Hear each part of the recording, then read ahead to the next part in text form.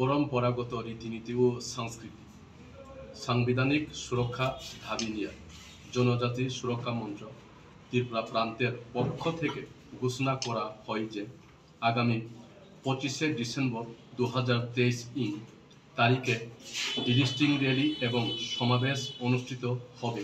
তবে ত্রিপুরা রাজ্যের মাননীয় জনপ্রিয় মুখ্যমন্ত্রী প্রফেসর ডক্টর মানিক সাহার বিশেষ অনুরোধে আমরা উক্ত ডিলিস্টিং র্যালি এবং জনসভার তারিখ পরিবর্তনের সিদ্ধান্ত গ্রহণ করি।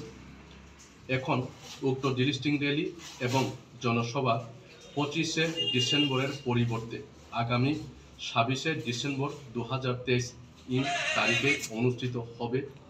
বাকি সময়, স্থান এবং অন্যান্য কর্মসূচি অপরিবর্তিত থাকবে।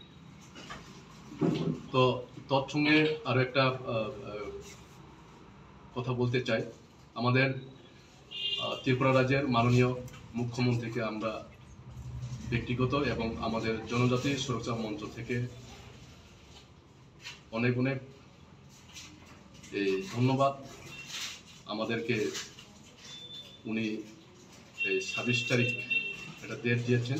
সেই ডেটে আমরা করতে যাচ্ছি। আমরা যথেষ্টভাবে ব্যক্তিগত এবং সংগঠনের পক্ষ থেকে ওনাকে মান সম্মান করি এবং ওনার যে অনুরোধ আমরা স্বীকার করে নিয়ে আমরা আগামী ছাব্বিশে ডিসেম্বরে আমরা এই পিসফুল র্যালি করতে যাচ্ছি। এবং তৎসঙ্গে বলতে চাই, আমাদের যে আজকের রিপোর্ট যে আমাদের জনসভায় উপস্থিত হবেন এই ডিস্ট্রিক্ট র্যালিতে প্রায় পঁচিশ থেকে তিরিশ এবং আগামী দিনে ওনার যে অনুরোধের মাধ্যমে আমরা বলতে চাই, আমাদের পিসফুল র্যালিতে আরও সারা ত্রিপুরা রাজ্যের লোক বিশাল আকারে আমাদের জনসভাতে অংশগ্রহণ করবে